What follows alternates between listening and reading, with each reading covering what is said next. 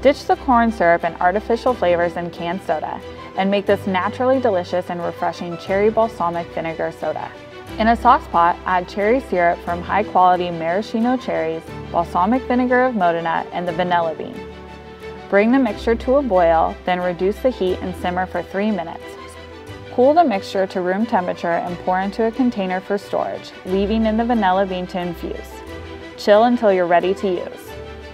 Mix this cherry balsamic vinegar syrup with soda water for a tart and tasty twist on cherry soda, or with cola for an updated take on cherry coke.